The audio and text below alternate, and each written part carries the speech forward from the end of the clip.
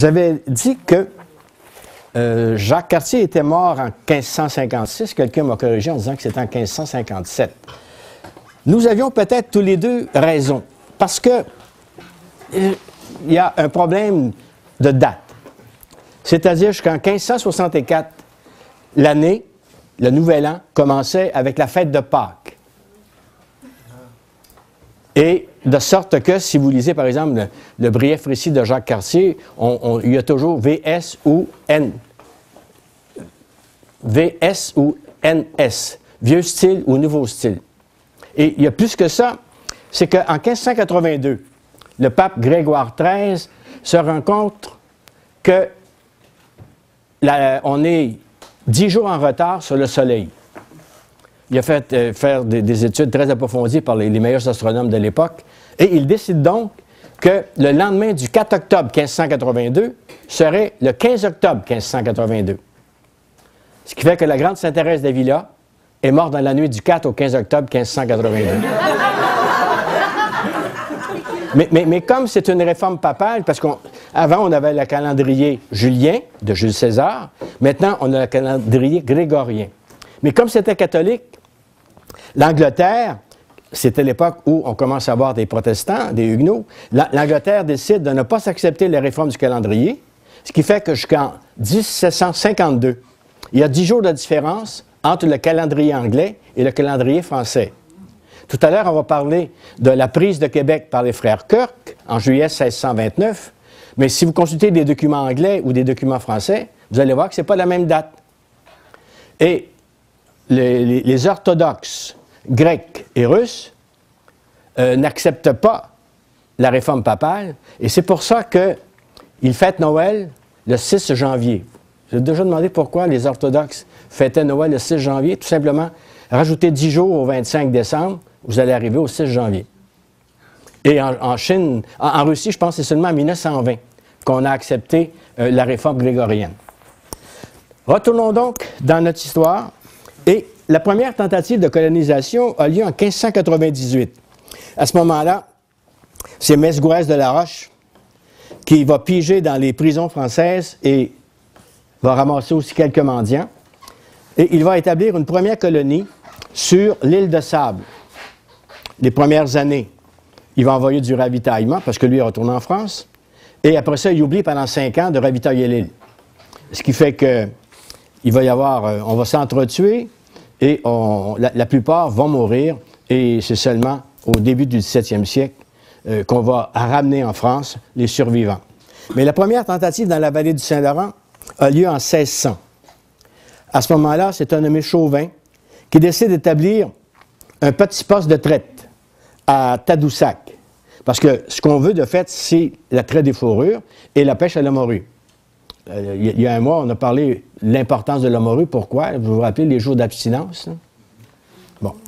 Et malheureusement, il s'est engagé à transporter, je pense, deux ou 300 colons en l'espace de 15 ans. Il en, laisse 16 à Tadoussac et l'hiver est tellement rude qu'il n'en reste plus que 5 au printemps suivant. Un peu plus tard, il y a Samuel de Champlain. Samuel de Champlain, euh, on en parle beaucoup avec euh, Québec 2008. Celui qui cherchait son tombeau est mort malheureusement. Ses funérailles ont lieu samedi prochain, René Lévesque. Et euh, Champlain vient faire un tour en 1603 ici, mais comme simple cartographe. Il n'y a pas aucune fonction officielle. Mais on décide, c'est Pierre du Godemont à ce moment-là qui obtient de Henri IV, le roi Henri IV, le, un monopole de traite des fourrures, monopole de commerce, pour à peu près 15 ans. Et on décide donc d'établir une première colonie. Et c'est à l'île Sainte-Croix, en 1604. Malheureusement, l'hiver est extrêmement rude. Le scorbut va faire encore énormément de ravages. Et il y a peut-être euh, plus que le tiers euh, des, des, Français qui sont là qui vont mourir du scorbut. Et on décide de chercher un endroit un peu plus favorable, un peu plus agréable, et on va faire de la recherche le long de la côte américaine, mais on va se rabattre sur un endroit qu'on va appeler Port-Royal. En 1605, donc, on a une tentative de colonisation à Port-Royal. Et là, ce qui va arriver, c'est que Champlain prend de l'importance, Pierre Dugas-Demont est toujours son patron, et on, va euh, construire une habitation. Aujourd'hui, il y a une réplique. Est-ce qu'ils sont déjà allés à Annapolis-Royal en Nouvelle-Écosse? On, a refait l'habitation de Champlain et on a établi The Order of Good l'ordre de bon temps. Et à ce moment-là, on va. Euh, je n'ai pas. Voyez-vous, sur les 79 qu'il y avait à l'île Sainte-Croix, il en meurt 35. Donc, euh, à peu près le, presque le tiers. Et plus de 20, euh, ils furent bien près de mourir. Et là, on, va. Euh, l'hiver est tellement rude que tout, tout gèle, sauf le vin d'Espagne. On décide donc de déménager à Port-Royal. Et là, au cours de l'hiver 1605-1606, la maladie ne fait que 12 victimes parmi les 45 occupants. Il n'y a pas de femmes à ce moment-là. Pas, de françaises. Oui? C'est où, Port-Royal? Port-Royal, en Nouvelle-Écosse, c'est Annapolis-Royal. Ah, c'est ça, Annapolis-Royal. Oui, oui. Et Champlain et Pont-Gravé vont avoir une idée remarquable, c'est qu'on va partir le premier club gastronomique en Amérique du Nord. parce que on s'était rendu compte que si on mangeait frais, si on, ne mangeait pas de viande salée et de légumes salés, on avait bien des chances de ne pas attraper le scorbut. Ah, pour être sûr que ça fonctionnerait bien, on, établit donc un genre de club gastronomique et euh, chaque jour, il y a celui qu'on appelle l'architriclin. Est-ce qu'il y en a qui ont fait partie des clubs gastronomiques ici? Moi, j'étais président de l'Association canadienne pour la presse gastronomique et hôtelière, avec Sœur Angèle, Sœur Berthe et Sœur Monique. Bon. Les amitiés bachiques, oui. Pardon? Les amitiés bachiques, j'en ai fait. OK, d'accord. Mais ça, c'est plus vineux que gastronomique. Parce que ma deuxième passion après l'histoire, c'est la gastronomie. Bon. Et parmi les, ceux qui sont à Port-Royal, il y a un avocat de rapport qui est Marc Escarbeau et on demande à l'escargot de mettre en vert le menu qui va être présenté tous les jours. Parce que tous les jours, on, change. Et il y a un genre de, collier qu'on met dans le cou de celui qui, le lendemain, va être chargé de préparer le repas. Et voici, par exemple, de quelle façon, un jour, on a présenté le menu. C'est en vert, n'oubliez pas. Cuisinier, ces canards sont-ils point à la broche? Comptes-tu ces poulets? Que c'est toi, on embroche? Voici venir à nous force bons compagnons, autant délibérer des dents que des rognons. Entrez dedans, messieurs, pour votre bienvenue, qu'avant boire, chacun hautement éternu, afin de décharger toute froide humeurs et remplir vos cerveaux des plus douces vapeurs. Ben, avant de bien manger, il fallait absolument éternuer. Parce qu'on disait que ça libérait l'intérieur de ce qu'il pouvait y avoir de mauvais. Ah, à un moment donné, Champlain a demandé à un capitaine de bateau de lui apporter des vivres. Et voici ce qu'il avait commandé. Six moutons, 24 poules, une livre de poivre, 20 livres de riz, autant de raisins de pruneaux, un millier d'amandes, une livre de muscade, un carteron de cannelle, une demi-livre de girofle, deux livres d'écorce de citron, deux douzaines de citrons, autant d'oranges, un jambon de Mayence et six autres jambons, une barrique de vin de, Gascogne et autant de vin d'Espagne, une barrique de bœuf salé, quatre pots et demi d'huile d'olive, une jarre d'olive, un baril de vinaigre et deux pains de sucre. Quand, lors de la dernière rencontre, je vous disais qu'on mangeait mieux ici qu'à la France à l'époque, voyez un peu ce qu'on pouvait euh, manger à cette époque-là. Je disais qu'il n'y avait pas de femmes, sauf qu'il n'y avait pas simplement de jeunes Amérindiennes. Et c'est à Port-Royal qu'on va composer la première pièce de théâtre. Marc Lescarbot va écrire une pièce qui s'appelle Le théâtre de Neptune.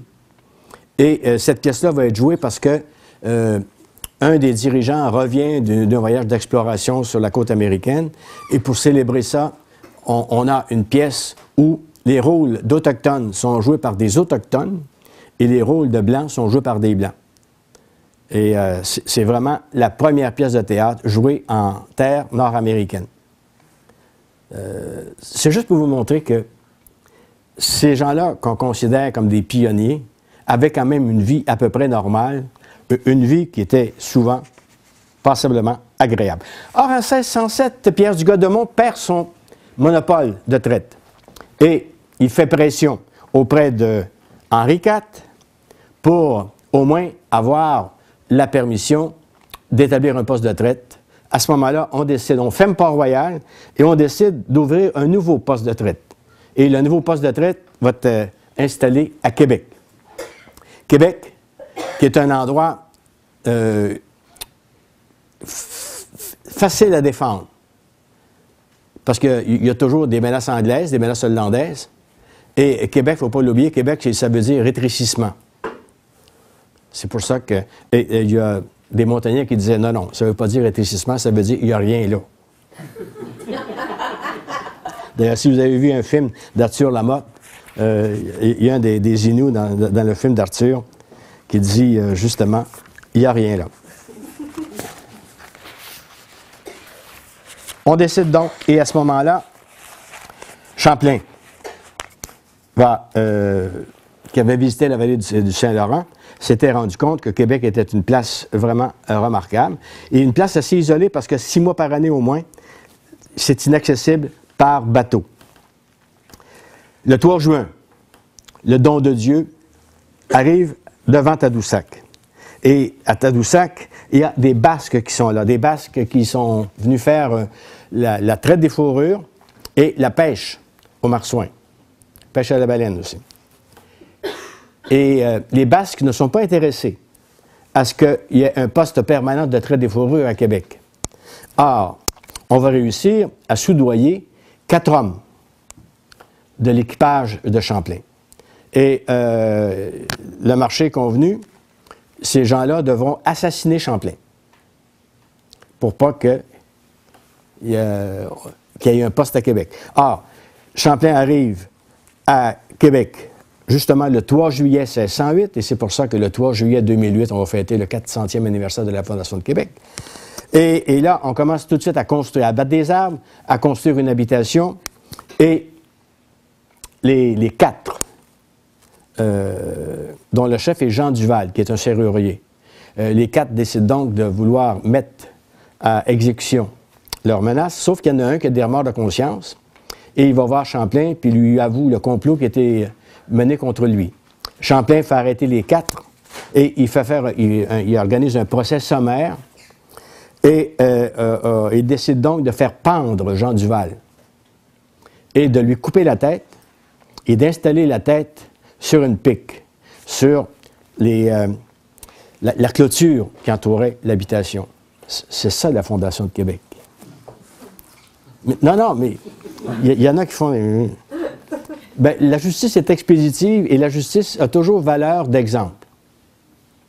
Si on voulait qu'il n'y ait pas d'autres complots, il fallait absolument euh, faire euh, un exemple. Et c'est ce que Champlain a fait avec Jean Duval. Les trois autres vont être euh, retournés en France.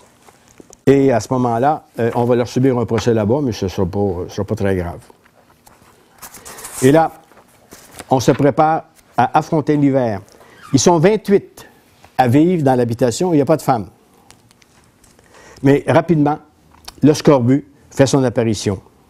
On dit au cours du mois de novembre, la dysenterie enlève un matelot et le serrurier Antoine Natel, à force, qui, à force de manger des, anguilles mal cuites. Au cours de l'hiver, 15 autres personnes meurent, 10 du scorbut et 5 de la dysenterie. Il y a même le chirurgien Bonherme, euh, qui lui est malade aussi.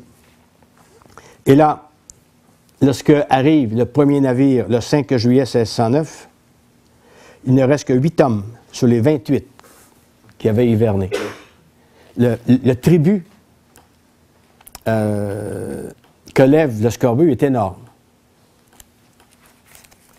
pas le secret Non. C'est-à-dire que Cartier avait appris en 1535, au cours de l'hiver 1535-1536, qu'une décoction d'anéda euh, guérissait du scorbut. Mais quand Cartier retourne en 1542, il apporte avec lui son secret. Et Champlain n'était pas au courant. Euh, et les, Indiens qui sont avec euh, Champlain, ce sont soit des Inuits, soit des Algonquins. alors que la, connaissance de l'Anéda était surtout avec les Iroquois. Donc, et en 1603, quand Champlain euh, avait remonté le fleuve Saint-Laurent, il s'était arrêté à Baie-Sainte-Catherine, et là, il y avait des montagnais qui revenaient d'une guerre contre les Iroquois. Et les Français, à ce moment-là, avaient promis aux montagnais euh, de les appuyer dans leur guerre contre les Iroquois. On rappelle à Champlain cette promesse-là, et au cours de l'été 1609, Champlain décide d'aller faire la guerre aux Iroquois. Ils partent trois. Ah non, non, non, non, non, vous allez voir. Et on remonte la rivière Richelieu, qui s'appelle à ce moment-là la rivière des Iroquois, et on traverse un lac très important auquel Champlain donne son nom, le lac Champlain. Et Champlain a apporté, lui et ses, deux compagnons, des arquebuses, des mousquets. Les Iroquois, à ce moment-là, ne connaissent pas l'existence des mousquets. Or, la, veille du combat, on, se regarde de part et d'autre, parce qu'on sait quand même une guerre assez civilisée. Euh, et Champlain établit une stratégie. Il demande donc euh, aux montagnais qui l'accompagnent de l'encercler. Et à un moment donné, on arrive devant l'ennemi. Et là, on ouvre les rangs. Et euh, Champlain et les deux autres tirent du mousquet. Et à ce moment-là, les Indiens qui n'avaient jamais entendu des coups de feu, ben, vont, s'enfuir. Et Champlain va écrire dans, son, dans de ses ouvrages, l'édition de 1612, Quand je l'ai vu s'ébranler et attirer sur nous, je couchai mon arquebuse en joue et j'ai visé droit à un des trois, des trois chefs, et de ce coup, il en tomba deux par terre, et un de leurs compagnons qui fut blessé, qui quelque temps après mourut. J'avais mis quatre balles dans mon arquebuse. Et pour la première fois, donc les Iroquois viennent faire les frais des armes à feu. Cette guerre-là est extrêmement importante parce que ça va marquer le début d'un conflit qui va durer jusqu'en 1701 avec des périodes d'accalmie. Les Iroquois vont faire cause commune avec les Hollandais d'abord, les Anglais ensuite, et ils vont vouloir servir euh, d'intermédiaire entre les Anglais et ceux qui font la traite des fourrures, les Amérindiens qui font des fourrures. Or, leurs principaux ennemis, ce sera donc les Hurons. Et ils vont vouloir, on le verra tout à l'heure, détruire la Huronie. Champlain va retourner faire la guerre en 1611, mais entre-temps, il va aller à Paris. Champlain, savez-vous combien de fois il a traversé l'océan, soit dans un sens, soit dans l'autre? 23 fois. Combien qu'il y en a aujourd'hui qui ont traversé l'océan Atlantique, même en avion, 23 fois? Hein? Moi, je l'ai fait, mais... Euh, et en 1610, il va se marier. Il a à peu près 37 ans et il va épouser une petite fille de 12 ans. Non, non. L'âge légal du mariage, c'est 12 ans pour les filles et 14 ans pour les garçons. Même Zachary Cloutier va marier une petite fille de 11 ans et demi. Euh, ici, la petite fille ou là-bas? Ici. C'est à Côte de Beaupré. Non, non, non, non une, petite Française. Et euh, Champlain, donc, va épouser euh, Hélène Boulay, le plus intéressant, c'est la dot. Euh, c'est 6 000 livres de dot. Mais Champlain va revenir en 1611 à Québec. Hein. Il ne vivra pas très longtemps avec Hélène Boulay. Hélène Boulay va venir euh, quatre ans à Québec, 1620-1624. Entre-temps, mettons en 1613, elle fugue. Et Champlain met la police après elle. Les parents d'Hélène Boulay vont la déshériter. et quand Champlain va mourir, elle va donner religieuse Ursuline. Quoi, c'est une belle destinée? Ils n'ont jamais eu d'enfant. Mais en 1611, quand Champlain revient, il, va, euh, vient visiter Montréal, l'île de Montréal, euh, où il n'y a pas encore de, euh, de colonie qui est établie là. il va faire euh, construire un, mur de briques pour savoir combien ça va résister à l'hiver, et il, arrête au rapide de la Chine. Mais il remarque une île qui est très belle. Et euh, en souvenir de sa femme qu'il a, a laissée en France, il donne à l'île le nom de Sainte-Hélène. L'île Sainte-Hélène, c'est en l'honneur de Hélène Boulet. Il va, euh, en 1615, aller hiverner euh, chez les Hurons.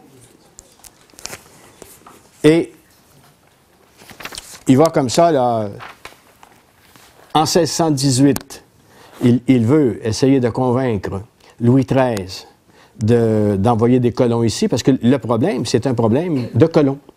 On n'en a pas beaucoup. En 1617, euh, on a une famille qui arrive, c'est la famille de Louis Hébert et de Marie Rollet, avec euh, leurs trois enfants. C'est le premier colon. Parce que les autres, pardon, c'était des traiteurs. Et euh, Louis Hébert, c'était un apothicaire, un pharmacien. Et lui va mourir en 1627. Il y avait une grosse tempête de neige, il a nettoyé le toit de sa maison, puis il est tombé en bas du toit. Il est mort. Si, vous voulez savoir.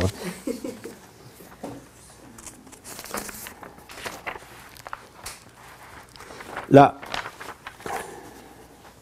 Donc, en 1618, Champlain va dire que euh, si on envoie plusieurs colons ici, on va être capable de construire une ville qui devrait s'appeler Ludovica.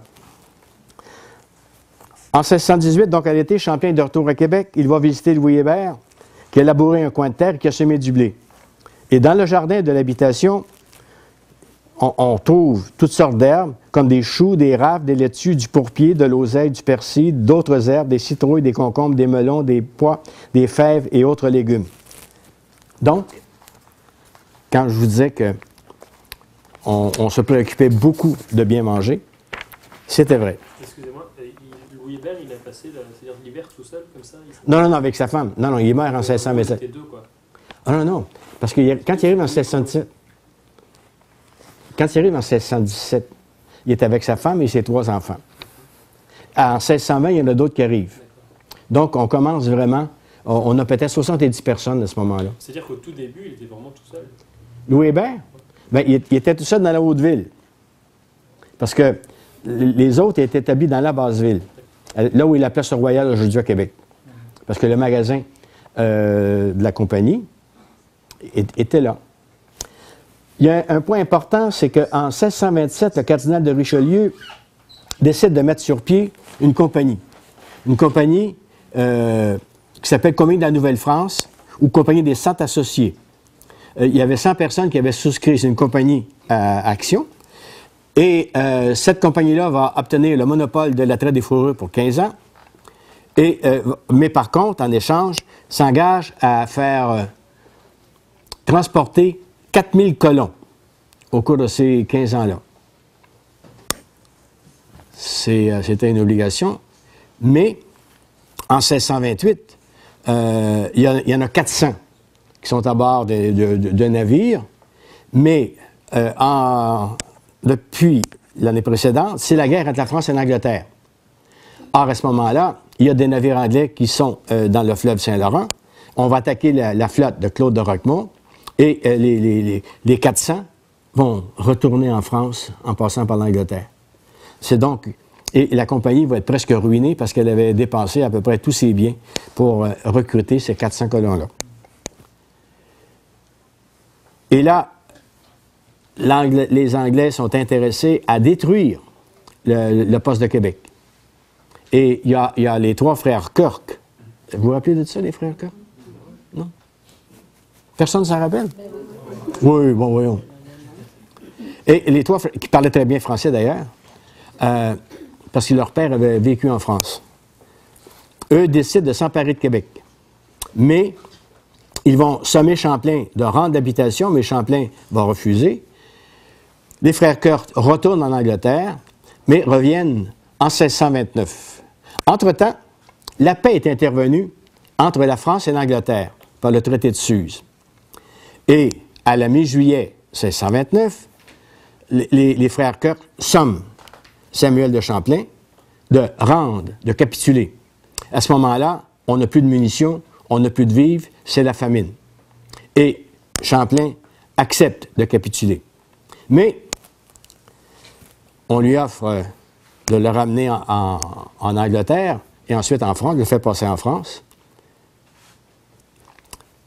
Au moment où Québec capitule, comme la paix existe entre la France et l'Angleterre, la conquête de Québec est illégale. Or, Champlain, lui, va rester en Angleterre un certain temps pour euh, demander le retour euh, de la Nouvelle-France à la France. Il avait voulu amener avec lui espérance et charité. C'est bien ça, oui. Et, là, euh, parce que je pense, foi et espérance. C'était trois petites indiennes que les montagnais lui avaient données. Euh, Champlain leur avait monté comment faire de la tapisserie, comment faire de la couture. Euh, mais quoi? je ne sais pas quel genre de relation il y a eu avec elle. Bon. Mais il voulait absolument en amener deux avec lui, mais il y a eu la permission au début. Mais euh, il y a un de ces hommes qui va protester. Et là, les frères Kirk vont décider que Champlain ne pourra pas ramener avec lui les deux petites Indiennes. Il y a à ce moment-là un certain nombre d'habitants qui vont décider de demeurer à Québec. Quelques-uns vont épouser la cause des Anglais, entre autres Étienne Brûlé et Marcelet. Et euh, jusqu'en 1632, Québec va être une ville anglaise. En 1632, euh, on réussit à se mettre d'accord. Et à ce moment-là, euh, faut vous demander pourquoi, comment ça se fait que ça a pris trois ans pour que le, gouvernement de l'Angleterre, le roi d'Angleterre, euh, décide de remettre la Nouvelle-France à, la, France, c'est qu'il y avait une dot. Parce que le roi, il y avait une fille du, roi de France qui avait épousé euh, un fils du roi d'Angleterre, mais la dot n'avait pas été versée. Il, attendait qu'on verse la dot pour remettre la Nouvelle-France. Champlain ne revient pas tout de suite. J'ai oublié de vous dire qu'en 1615, on avait commencé à recevoir les, premiers missionnaires, qui étaient des récollets, c'est-à-dire des franciscains. En 1625 arrivent les jésuites. On, a donc, de 1625 à 1629, deux congrégations religieuses ici. Une congrégation de mendiants, les récollets, et une congrégation euh, de missionnaires très instruits, qui sont les jésuites. Or, quand euh, la Nouvelle-France redevient française, il y a seulement les jésuites qui reviennent ici, les récollets ne viennent plus. On se demande pourquoi. Il y aurait peut-être eu des pressions qui auraient été faites auprès du roi euh, Louis XIII pour empêcher le retour des, euh, des récollets. Et là, Champlain revient en 1633. Et là, il décide d'établir un nouveau poste et à ce moment-là, il choisit Trois-Rivières. Parce que Trois-Rivières est à l'embouchure de la rivière Saint-Maurice. La, rivière Saint-Maurice ne s'appelle pas rivière Saint-Maurice à ce moment-là. C'est seulement dans les années 1730 qu'elle va prendre ce nom-là, euh, à l'honneur de Maurice Poulin de Courval. Mais on l'appelle la rivière des Trois-Rivières. Parce qu'il y a cinq îles à l'embouchure de la rivière. Et quand vous êtes sur le fleuve Saint-Laurent, vous avez l'impression que c'est trois rivières qui se, qui se jettent dans le fleuve Saint-Laurent. C'est pour ça que s'appelle Trois-Rivières. Et là, il va répondre à une invitation lancée par les Algonquins. Et les Algonquins, leur chef s'appelle Capitanal. Il faut que je vous lise absolument le texte de l'invitation lancée par Capitanal.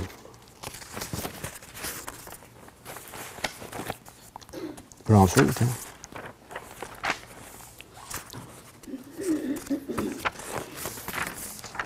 Excusez. Posez-vous pendant ce temps-là. Justement, le vendredi passé, il y avait une table ronde à Trois-Rivières sur les Algonquins de Trois-Rivières et on a parlé de Capitanal à ce moment-là.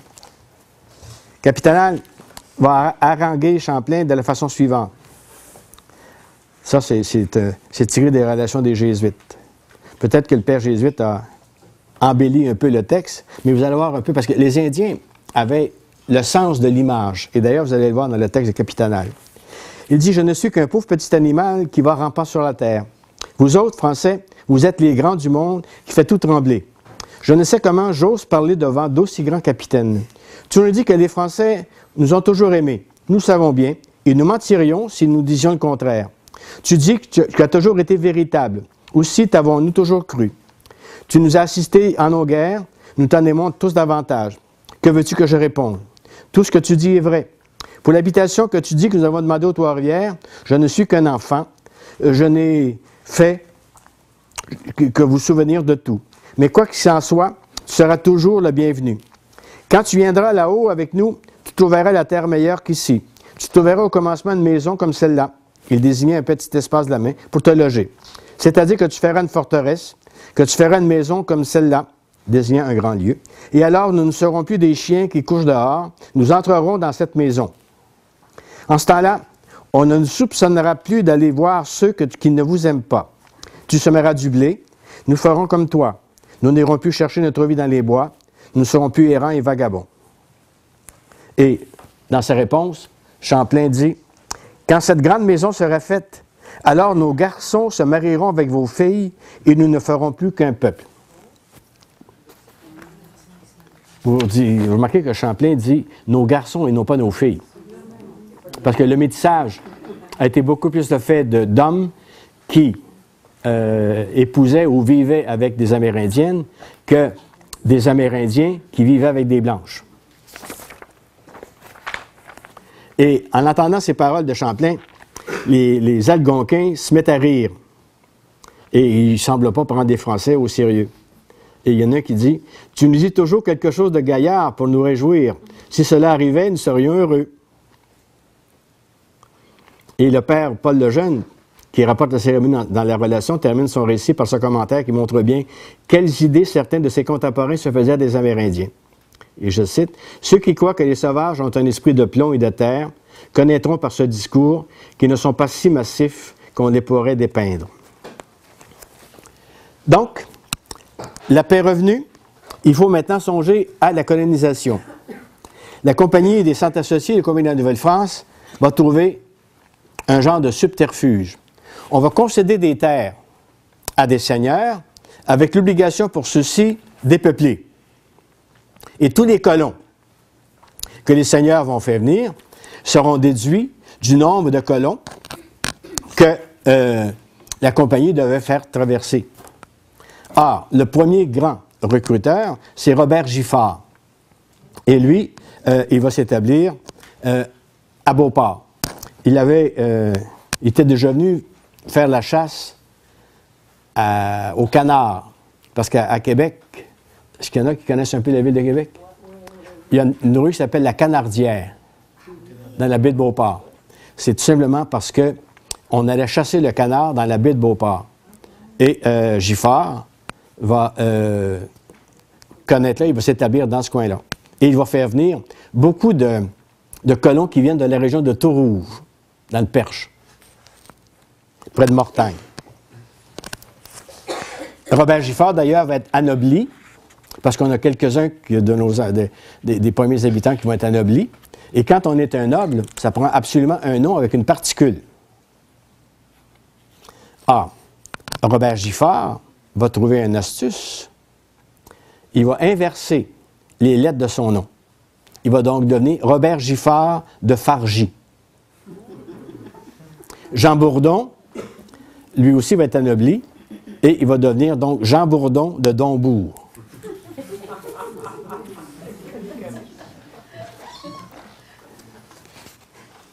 Ça, vous n'avez pas pris ça à petite école, par exemple.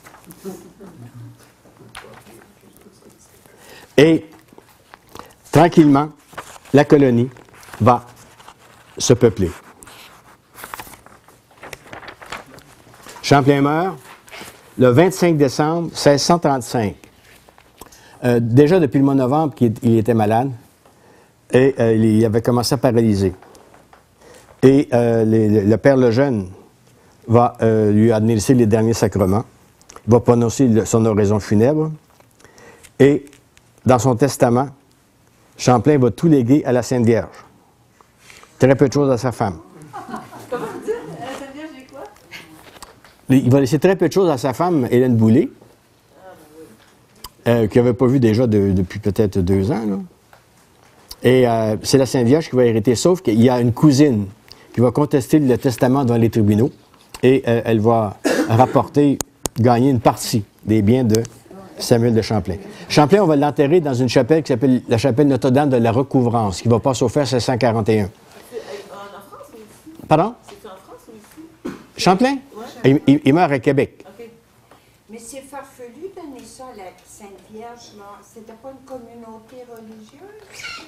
Ben, c'est-à-dire, que comme c'est le père jésuite qui avait administré les derniers sacrements, je ne sais pas si c'est eux autres, mais de toute façon, ça, ça va faire un procès énorme en France. Mort, euh, Il est mort, il va être enterré euh, samedi prochain, le 24. qui n'a jamais trouvé le, le Non. La dernière fois, euh, il pensait l'avoir trouvé, mais il a abouti dans le, le sous-sol d'un restaurant chinois. Mais l'église passe au feu en 1641, et probablement qu'on a déménagé euh, son tombeau, mais on ne sait pas où il était, où il était transporté. Général, Général Tao devait être bon. Mais euh, moi, je me rappelle, je suis, allé dans le sous-sol de ce restaurant-là, justement avec René Lévesque. Je le connais très, très bien. Euh, Sur la, la, la Haute-Ville ou la Basse-Ville? La Haute-Ville. Et là, il y a quelqu'un qui s'appelle euh, Robitaille, qui se posait prendre la succession de René Lévesque pour chercher le tombeau de Samuel de Champlain. Champlain, quoi qu'on puisse lire sur son monument, n'a jamais été gouverneur de la Nouvelle-France. On, on- c'est marqué sur le monument, là, euh, à Terrasse du Frein. Euh, il était lieutenant, lieutenant du roi, mais pas gouverneur. Et le premier gouverneur, ça sera Charles Huot de Montmagny, euh, qui est un chevalier de Malte. Et celui qui, qui est le premier va prendre le titre de gouverneur de la Nouvelle-France. En 1639, arrivent des Ursulines et des Hospitalières, dont Marie d'Incarnation pour chez Ursulines. Les Ursulines doivent s'occuper de l'éducation des filles françaises et amérindiennes, et les Hospitalières fonder un hôpital.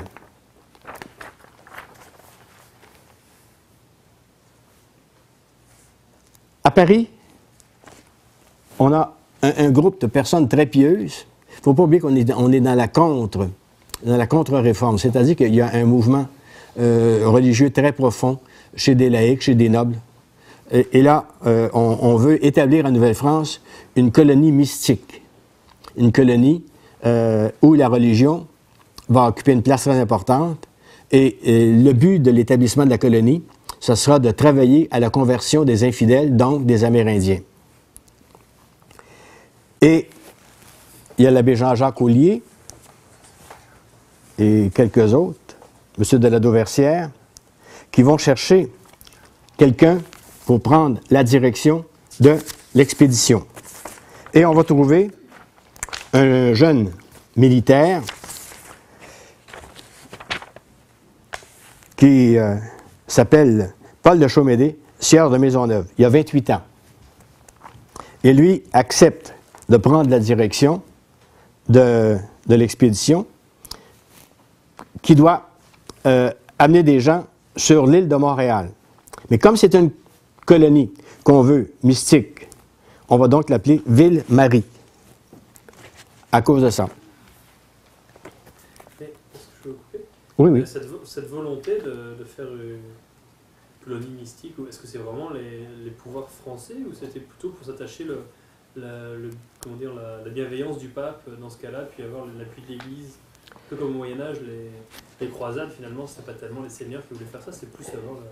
Mais, mais là, vraiment, on, on a des, des laïcs, on a des religieux aussi. Ouais. Euh, Jean-Jacques Collier, c'est le fondateur des Sulpiciens. Euh, donc, c'est vraiment des gens. Il ne faut pas oublier que c'est l'époque de Vincent de Paul. C'est- une époque où vraiment la religion euh, prend une place très importante. Et euh, les infidèles, on, est toujours obnubilé par euh, l'idée de convertir ces gens-là à ce qu'on appelle la vraie foi. Et il règne mieux qu'un pied à terre. Et, d'ailleurs, euh, Maisonneuve est assez, c'est un célibataire. Il, est quand même pas seulement religieux. Et Montréal, l'île de Montréal appartenait à Jean de Lauzon. Et Jean de Lauzon, lui, s'était fait concéder une seigneurie énorme qu'on appelait seigneurie de la Citière. Et la, Société de Notre-Dame de Montréal euh, va euh, acheter l'île, va s'en faire donner en quelque sorte, parce qu'elle va l'acheter de Jean de Lauzon.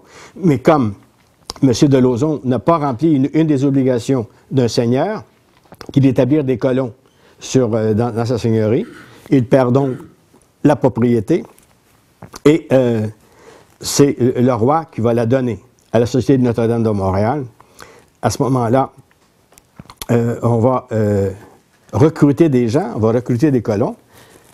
Il y a une fille qui, elle, entend parler du projet et elle décide de se porter volontaire, c'est Jeanne Mance.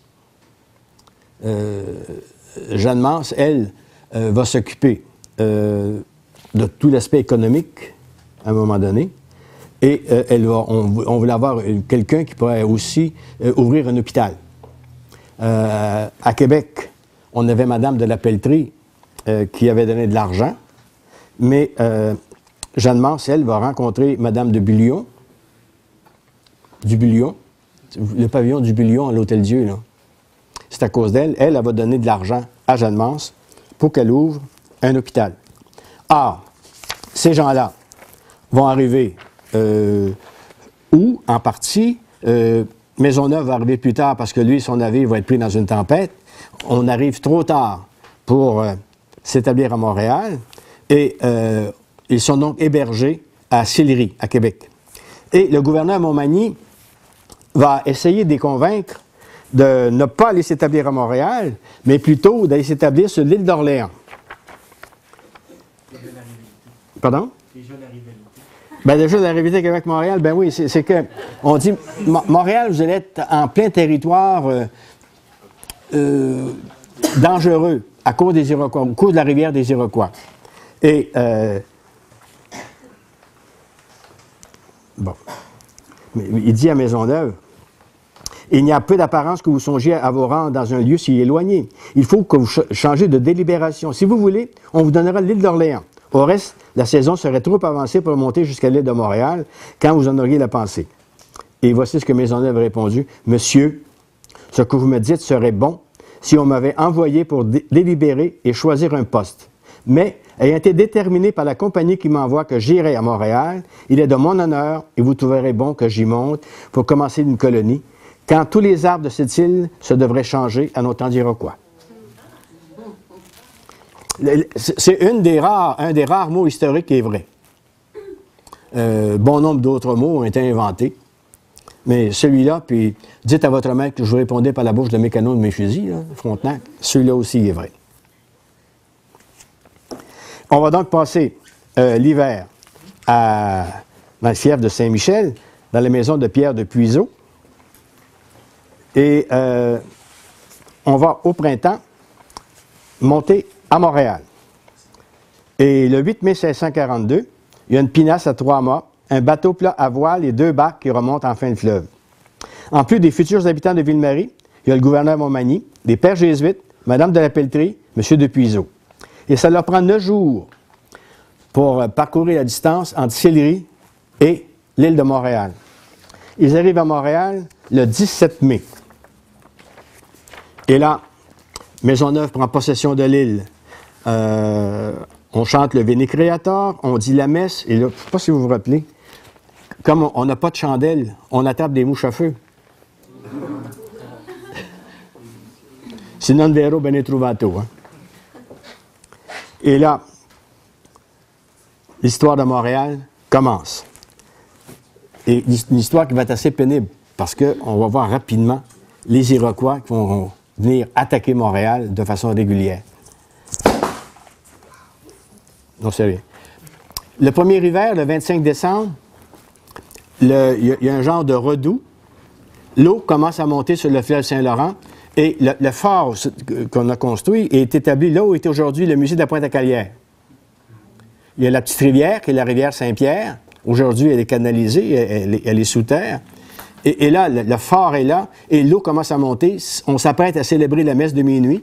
Et Maisonneuve fait la promesse que si l'eau se retire, il va aller planter une croix sur le Mont-Royal. Et l'eau se retire effectivement. Et là, le 6 janvier 1643, en plein hiver, Maisonneuve, accompagnée de plusieurs habitants de Montréal, monte sur le Mont-Royal et plante la croix.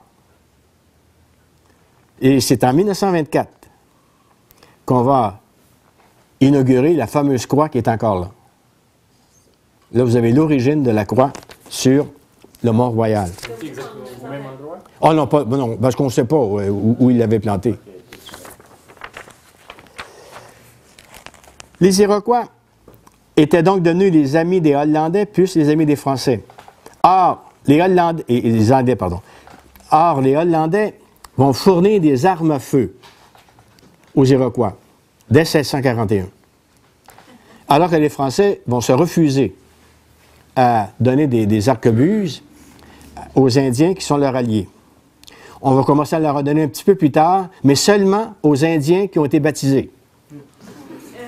Je ne sais pas si tirait mieux que les autres, mais on faisait un petit peu de chantage, vous savez, pour les faire, euh, pour les faire convertir. Ah, Montréal va donc devenir le lieu de prédilection des Iroquois. On va euh, attaquer Montréal régulièrement. On va attaquer aussi la Huronie. Et en 1642, le- il y, a, il y a le père Jacques qui va tomber aux mains des Iroquois et il va raconter, parce qu'il ne mourra pas tout de suite, il va mourir un peu plus tard.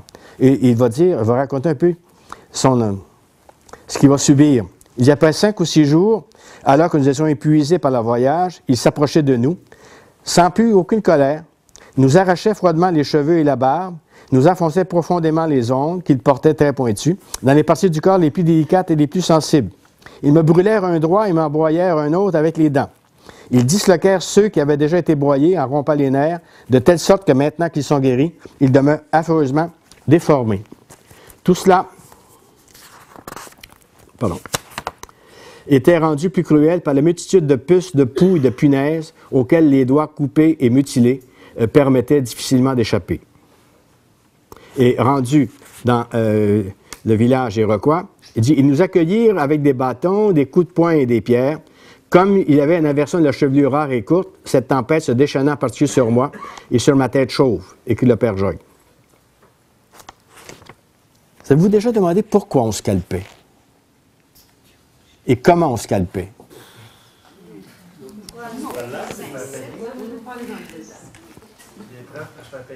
Pardon? Des preuves pour se faire payer.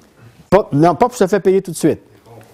Bon, c'est c'est que dans le corps humain, ce qu'il y a de moins pesant, c'est la chevelure. Et les Indiens détestaient les chauves. Or, le père Jacques, c'est un chauve. Euh, et, mais par contre, quelqu'un qui a une belle chevelure, comme Jean de Saint-Père. Jean de Saint-Père avait une chevelure blonde euh, remarquable. Et lui, il va, euh, au moment où il est en train de construire sa maison, il est sur le toit. euh, et, là, les Indiens l'attaquent, les Iroquois l'attaquent, et on décide, que, comme on a tiré des coups de fusil, l'alarme a été donnée, et, là, on, arrive, et les Iroquois s'empressent de s'enfuir, mais ils partent avec la tête. Ils coupent la tête, puis ils partent avec la tête. Euh, et, là, euh, un peu plus loin, ben, ils lèvent la chevelure, mais d'a- d'après euh, de Casson, qui est un, le premier historien de Montréal, il ne faut pas toujours le croire, hein, il dit que là, il y a eu euh, un, genre de miracle. La tête, la chevelure a commencé à parler iroquois.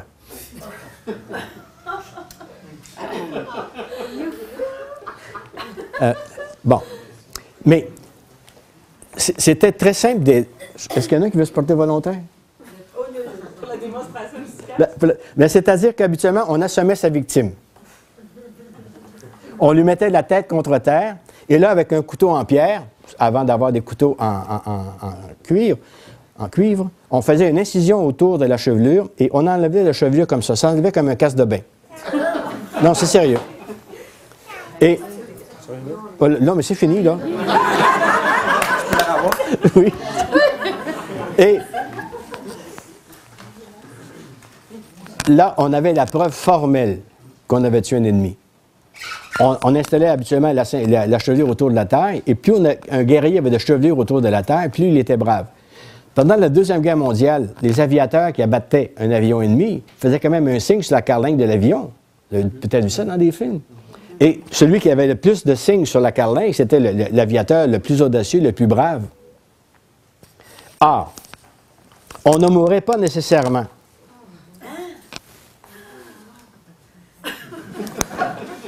Là, je n'ai pas retenu son nom, mais lui, on va il était surnommé le Chico.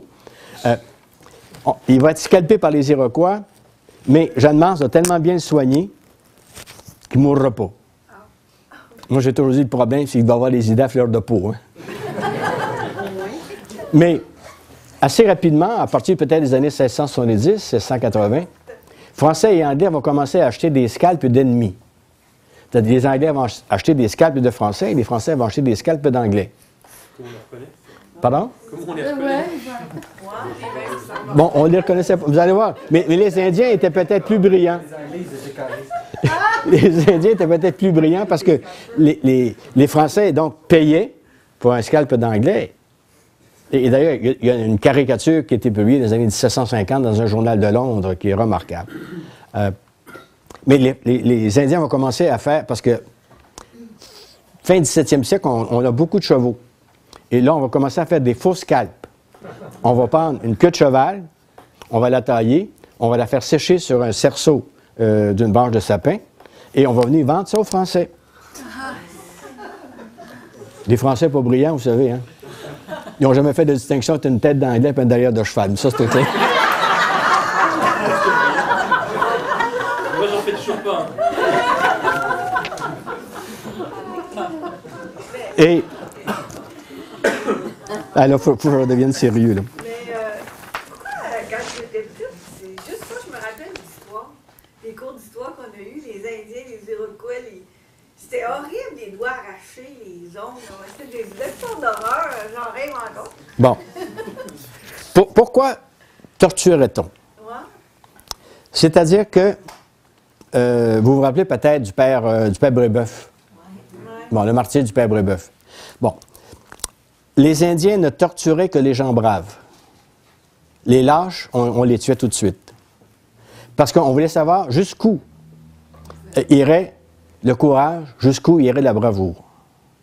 Dans le cas de, Jean de Brébeuf, c'est un, colosse, hein, c'est un, c'est un gars bien bâti. Et là, on va être émerveillé par sa résistance. Si on lui met un collier de hache rougie autour du cou, si euh, à un moment donné, on va lui verser de l'eau bouillante sur la tête, c'est tout simplement parce que on, veut savoir jusqu'où le courage va tenir. Et on est tellement émerveillé par le courage de Jean de Brébeuf que quand il meurt, on lui ouvre la poitrine, on mange son cœur. C'est pas du cannibalisme. Manger le cœur d'un brave, c'est hériter du courage d'un brave. Ça, on enseigne. les saints martyrs canadiens, hein, ils ont été beaucoup plus martyrisés parce que. euh, oui, il y avait une question? Le cœur, c'est cru ou c'est cuit? Cru. Ben, c'est-à-dire qu'il il- il est chaud encore, mais il est cru. Mais euh, ce sont des croyances autochtones, ça. et- Qu'est-ce que vous alliez dire? Ils ont été plus martyrisés. Ben, c'est-à-dire que, bon, l'arrivée des Blancs, une des conséquences les plus importantes, c'est la petite vérole. Les, les Amérindiens étaient incapables de résister aux épidémies de petite vérole. Il y a des villages complets qui vont être euh, ravagés par la petite vérole, la picote, parce qu'ils n'ont pas d'anticorps contre ça. Or, les pères missionnaires, d'ailleurs, il y en a un qui va le dire, euh, transportaient le- leur hôtel dans un, genre de, boîte fermée et on interdisait aux Autochtones d'y toucher. Ah, mais chaque fois qu'un missionnaire arrivait euh, en, pays de mission, dans une nation, très souvent, il y a une épidémie qui éclatait de petite vérole. Or, on était convaincus que la maladie était dans la boîte. Alors on, on va s'en prendre aux missionnaires à cause de ça. Et les missionnaires aussi euh, détruisaient euh, les, les croyances religieuses des Autochtones. Et euh, il y en a. On en a fait des martyrs, mais c'est seulement dans les années 1930 qui ont été canonisés. hein. Qu'on avait besoin à ce moment-là là, de, raviver un peu la foi. Mais ça ne vous empêche pas de prier. Ça ne vous empêche pas sûr d'avoir des miracles, mais euh, priez-les quand même. Ah, à Montréal, il, va y avoir euh, des, des razzias, des attaques régulièrement, à un point tel qu'à un moment donné, Jeanne Mance va être obligé de quitter son hôtel-dieu euh, et de se réfugier dans le fort. Il y a Lambert Closs, qui lui va avoir une chienne qui s'appelle Pilote à la place d'Armes. Il va aller voir le monument de Maisonneuve à la place d'Armes. À l'angle, si vous regardez la basilique, à l'angle droite, en bas, là, vous avez euh, Lambert Closs qui- avec, son chien qui s'appelle Pilote. Et Delier de Casson raconte que on, on avait dressé la chienne qui a eu des chiots et la chienne elle-même a, parce qu'on servait des chiens pour lever, euh, dénicher des Iroquois qui se cachaient. Ah, la, chienne pilote, elle, était tellement habituée que ces chiots, quand ils n'étaient pas capables de dénicher un Iroquois, on savait qu'il était là, elle les mordillait pour qu'ils apprennent vraiment comment chasser les Iroquois. Il, il va y avoir quelques paix. Pardon? C'est un bon chien. D'ailleurs, les Indiens avaient des chiens. hein. C'était le seul animal qu'ils avaient, domestiqué. Et euh, quand il y avait un banquet, euh, habituellement, les convives euh, avaient comme serviette un dos de chien.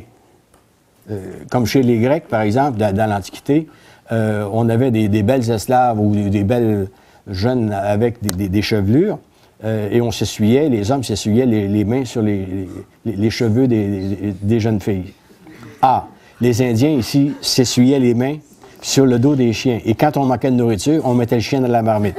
Mais On il y met- avait, vous avez des chiens quand les blancs sont arrivés. Pardon? Vous avez déjà des chiens quand les blancs sont Ah oui, oui, oui, oui. Mais il n'y avait pas de chat. Euh, il y a, comment il s'appelle? Il y, a, un frère récollet qui va être le premier à amener un chat avec lui euh, dans, une nation autochtone et il va semer la panique. Et on, reprend on va penser que c'est un animal euh, euh, maléfique. Et il y a toutes sortes de légendes dans le légendaire autochtone concernant les chats qui sont maléfiques.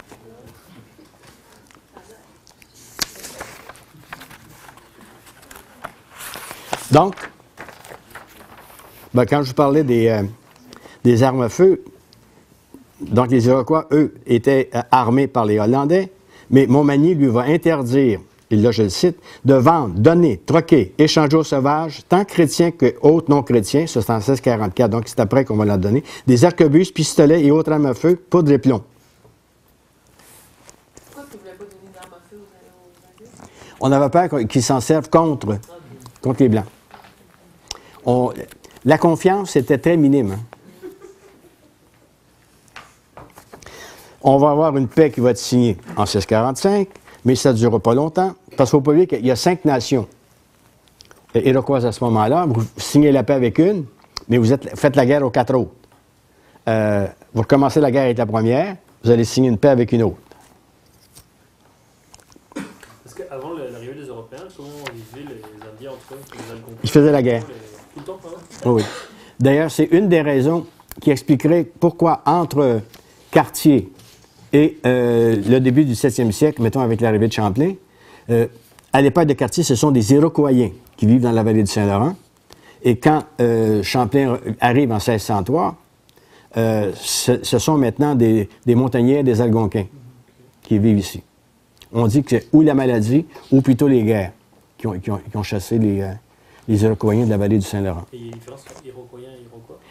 Les Iroquois, c'est tous les gens qui parlent la langue ir- ir- ir- iroquoise. Donc, les Hurons sont des Iroquois.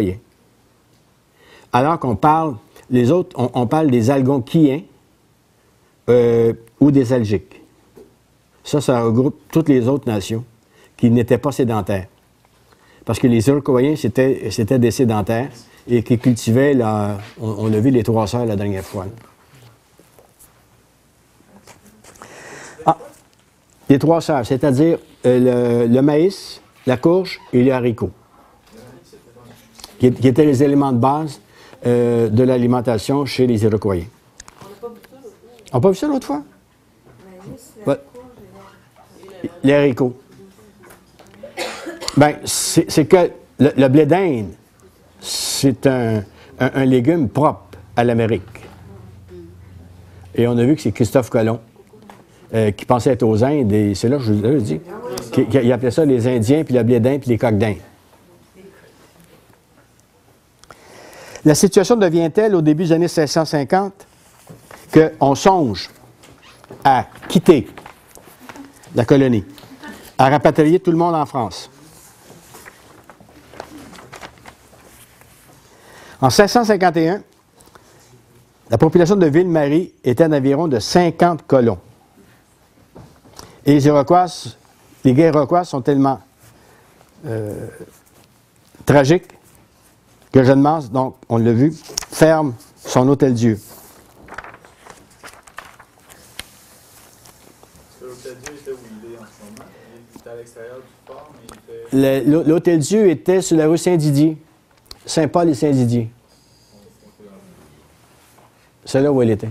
C'est là où il- l'hôtel-dieu était.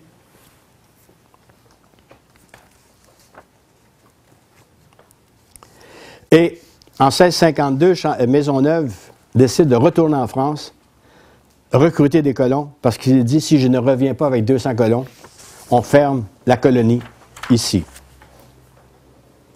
Il déclare Je tâcherai d'amener 200 hommes pour défendre ce lieu.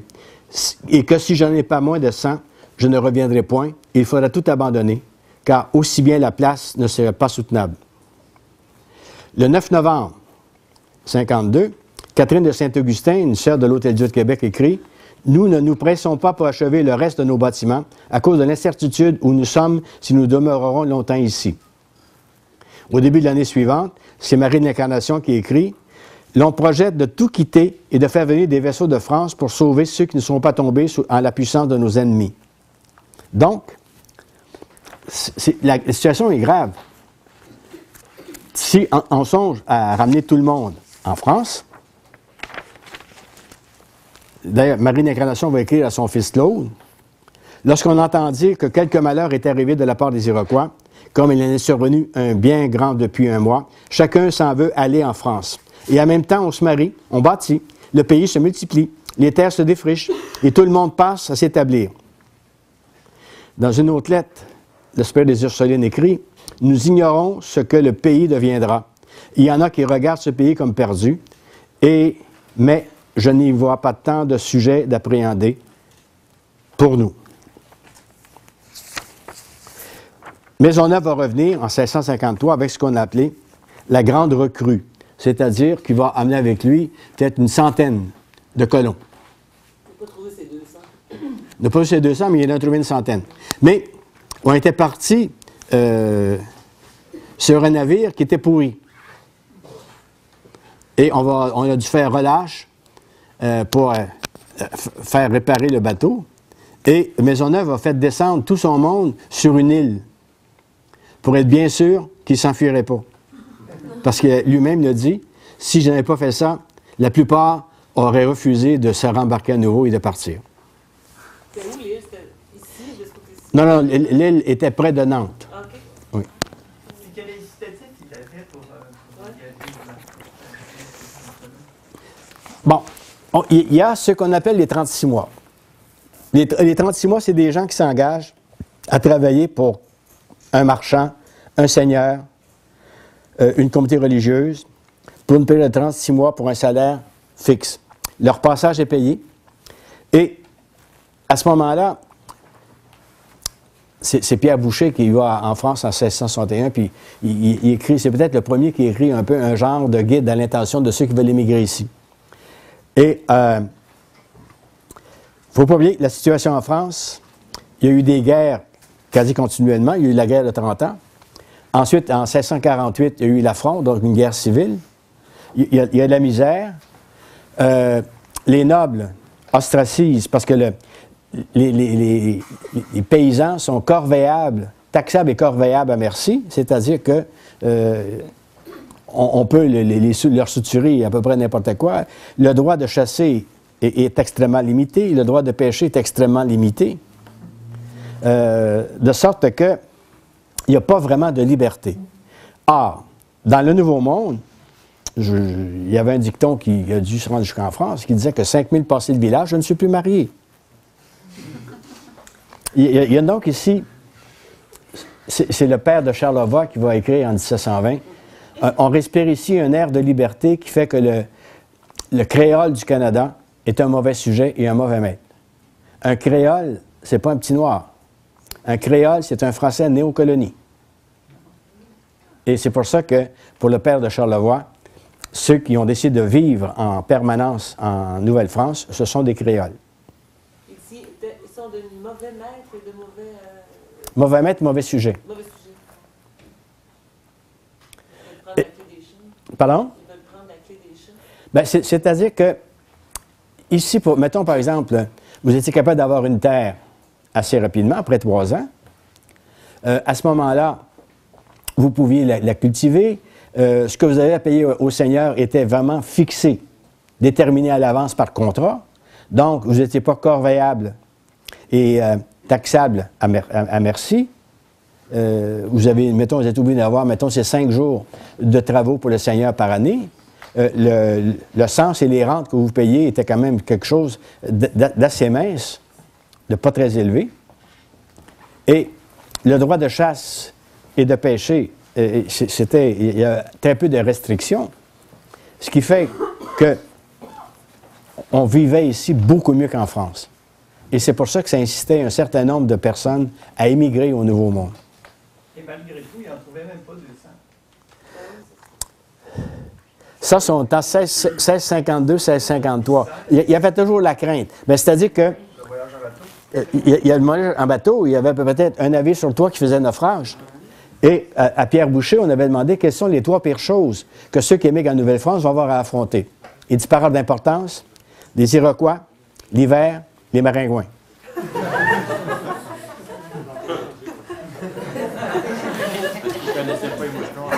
Il connaît- il connaissait pas les mouches encore.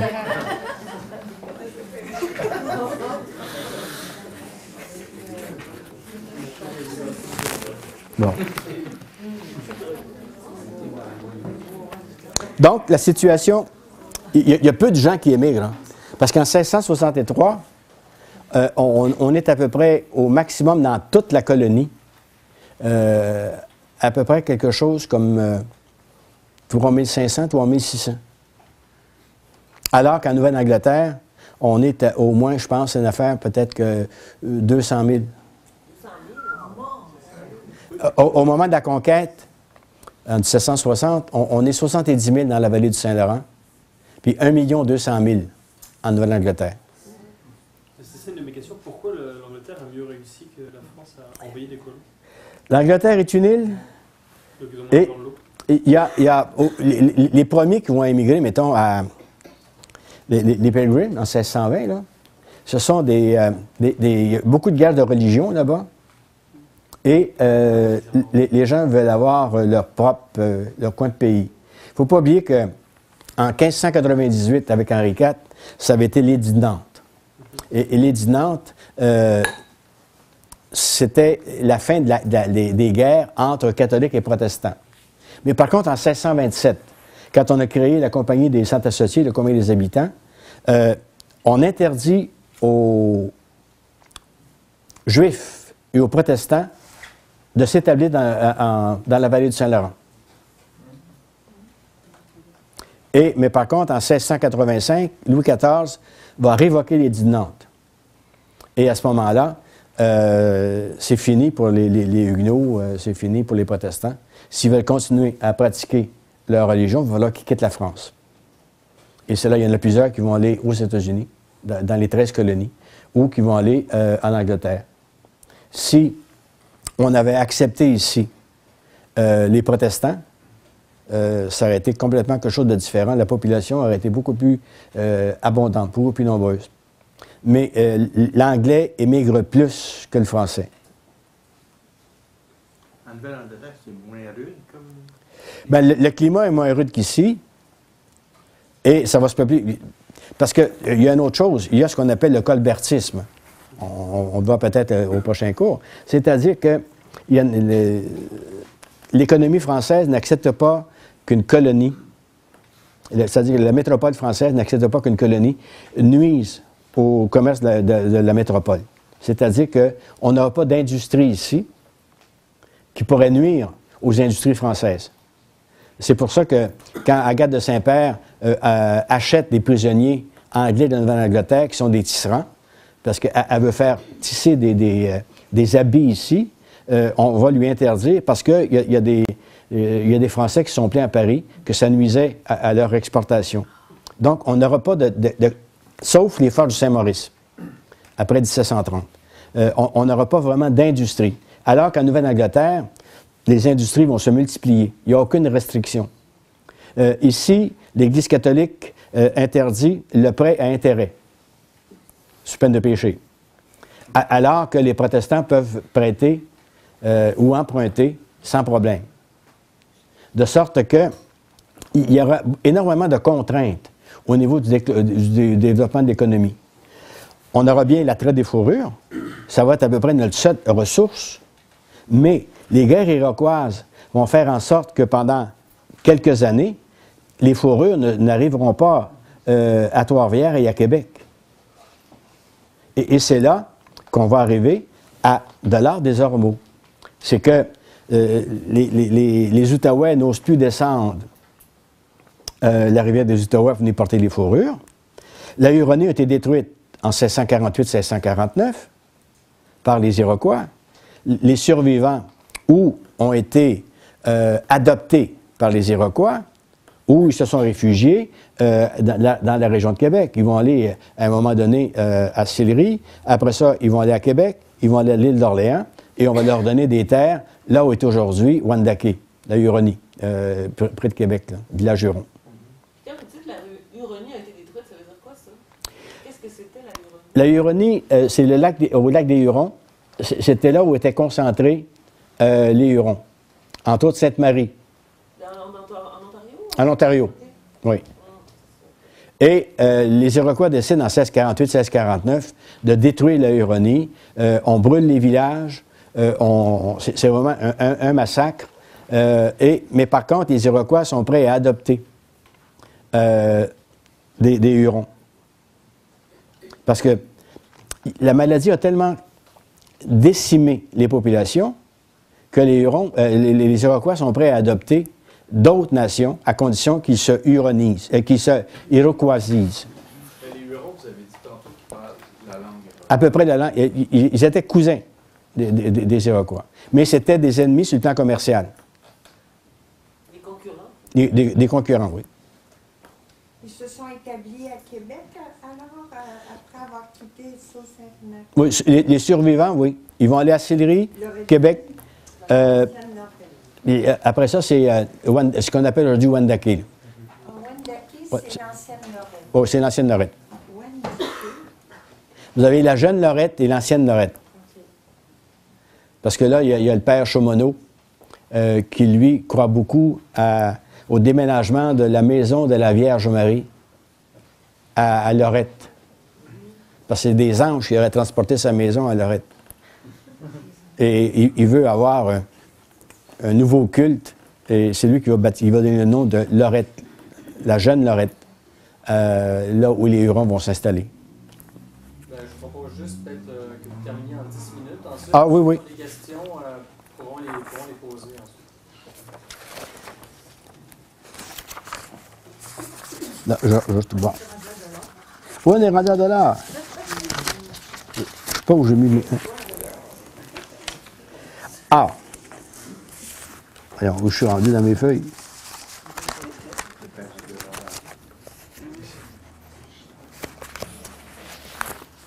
Ah, me voilà.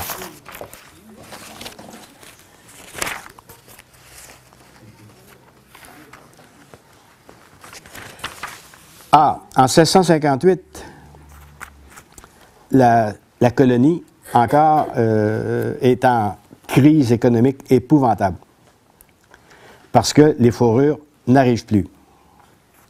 Et euh, on décide donc à ce moment-là, on, sait que peut-être il y a des, des canaux qui vont descendre. Au début de 1660, les Amérindiens de la région du lac supérieur et du lac Michigan veulent absolument troquer leurs fourrures contre des marchandises françaises. Ils forment le dessein d'organiser un énorme convoi qui, dès la fonte des neiges, prendrait le chemin de Ville-Marie. Les Iroquois connaissent l'existence de ce projet-là. Ils vont donc tout tenter pour que le convoi n'arrive pas à destination. Par ailleurs, les Agnés veulent attaquer les postes français. Enfin, l'on sait que des guerriers chasseurs des diverses nations reviendront de leur, chasse de, leur saison de chasse en empruntant eux aussi l'Outaouais. Au printemps 1660, Adam Dollard des Ormeaux, 25 ans, c'est lui qui est le commandant de la garnison de- du fort de Ville-Marie, réunit 16 jeunes gens pour aller au-devant des Iroquois et peut-être aussi pour protéger la descente des Outaouais. Selon la coutume, bon, là, là je sais vous rappeler, là, ils vont faire leur testament, puis ils vont les communier, puis se confesser. Mais ça, là, faire les testaments, chaque fois que quelqu'un partait en voyage pour faire la traite des fourrures, pour traverser l'océan, il faisait son testament.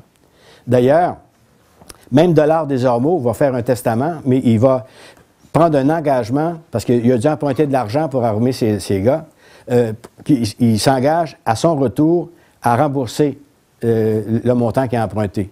Donc, il ne partait pas pour mourir. Quand on partait en voyage, on allait aussi se confesser et communier. Ça, c'était régulier.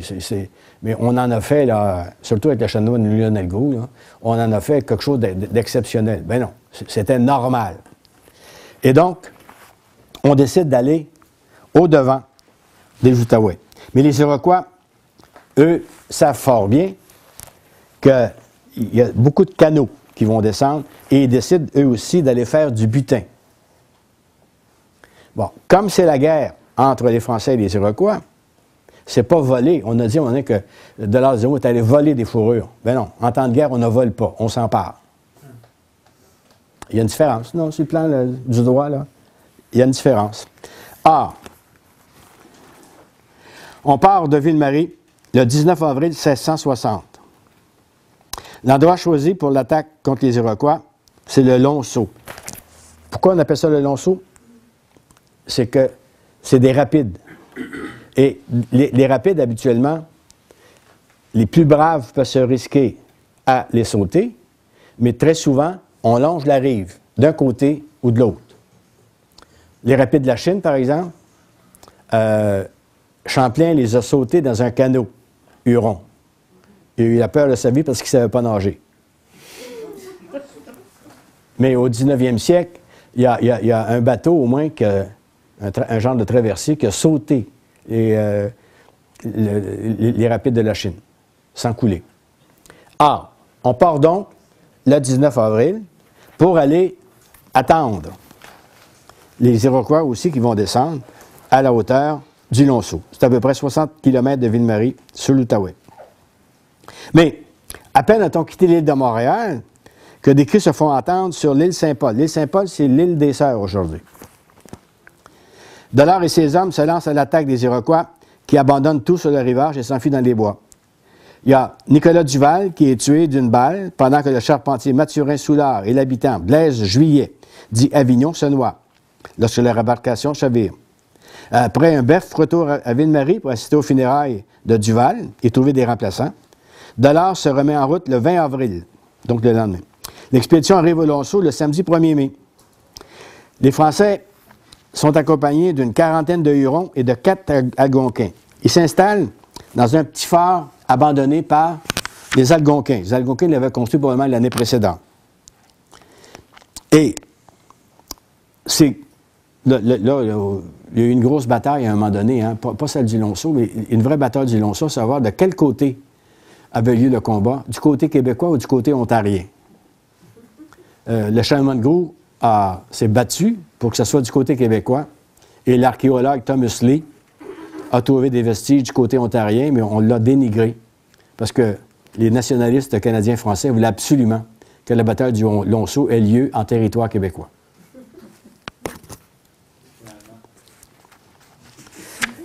Et là, le lendemain, on aperçoit deux canaux euh, montés par les Onontagués qui procèdent d'une flotte de 2 à 300 Iroquois. À ce moment, les Français font cuire leur repas au bord de l'eau. Ils se retranchent immédiatement dans le fort. Après un échange de coups de feu, un chef Onontagué s'avance sans armes jusqu'à la portée de voix pour demander quels gens étaient dans ce fort et ce qu'ils venaient faire. Là, il y a donc une trêve. Et ça, ce qui est important là, c'est que les Indiens, les Amérindiens, les Autochtones, une trêve, c'est sacré. On ne doit pas la briser. Or, les, euh, Français vont profiter, eux autres, de la trêve pour se, fortifier, pendant que les Iroquois, eux autres, construisent un petit fort juste en face de celui des Français. Peu après, les, les Onontagués se lancent à l'attaque que les Français repoussent sans tenter une sortie. Et là, les Onontagués dépêchent des canotiers aux îles du Richelieu pour solli- solliciter le secours de 500 Agnés et Onayouts qui les attendaient. Dans l'attente de renfort, les, les assaillants se contentent d'empêcher les assiégés de sortir. Du côté français, les munitions commencent à baisser dangereusement. Et l'eau aussi commence à manquer.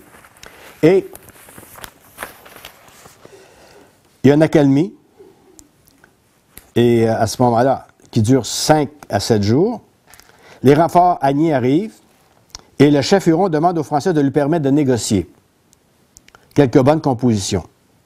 Et là, il y a euh, ce qui va arriver. Il y a des Français, euh, il y a des Hurons, il y a 20 à 30 Hurons qui acceptent l'offre des Iroquois, passent de l'autre côté, et euh, des Iroquois s'approchent encore du fort à dessein de se saisir de ceux qui voudraient prendre la fuite. Inquiétés de ce mouvement et peu confiants dans le résultat de l'ambassade, parce que là, il y avait l'ambassade, les, Français ouvrent le feu. Ce qui fait qu'on brise la trêve, et à ce moment-là, ça devient une guerre à finir entre les Iroquois et les Français. La situation des Français est quasi désespérée, et effectivement, on va charger une barrique euh, de poudre, on va vouloir la lancer par-dessus euh, le petit phare, mais malheureusement, une branche l'arrête et la barrique tombe à l'intérieur du fort, en blesse plusieurs et en tue quelques-uns. Ça, c'est pas de la légende, ça, c'est vrai, ça.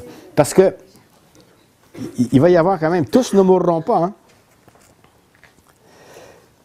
Et euh, les Français n'ont plus de munitions, le fort est délabré, et les Iroquois peuvent y pénétrer maintenant facilement.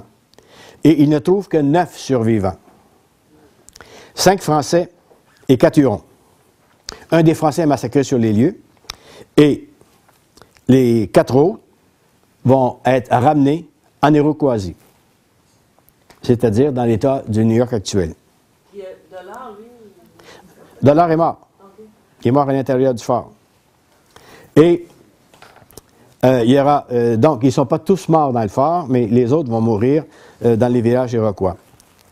Mais par contre, ce qui est intéressant, c'est que la nouvelle va parvenir à Ville-Marie le 25 mai. À Québec, on va la prendre le 8 juin. Et là, il n'y aura pas d'attaque au cours de l'année 1660. Ce qui va permettre à Pierre-Esprit Radisson et à des groseilliers de descendre l'Outaouais avec une soixantaine de canaux chargés de fourrure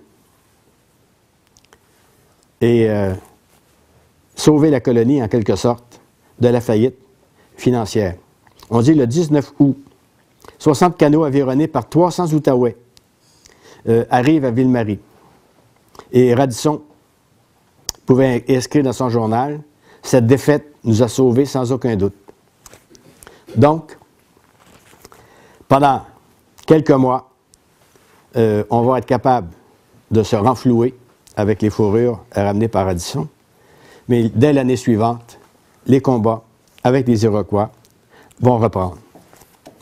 Et en France, on va décider à un moment donné de régler le problème, parce qu'en 1661, il ne faut pas l'oublier, c'est euh, Louis XIV qui euh, prend, c'est- la fin euh, du règne de sa mère, et c'est Louis XIV qui décide de, de gouverner personnellement la France. Ça va changer le paysage complètement. Et pour mater les Iroquois, en 1665, on va envoyer le, fameux régiment de Carignan-Salière. Et on aura une paix en 1667. On aura aussi, on verra ça peut-être au prochain cours, euh, là, ça va changer complètement le style de la colonie. Et on va rentrer dans une période qui est peut-être une des plus glorieuses euh, de l'histoire de la Nouvelle-France, qui va de 1663 à 1672. Est-ce qu'il y en a qui avaient des questions? Oui. Montréal, Ville-Marie, comment, comment se fait que euh, Ville-Marie s'appelle Montréal? c'est qu'à partir à peu près des années 1670-1680, bon, en 1665, là, on avance un peu là, sur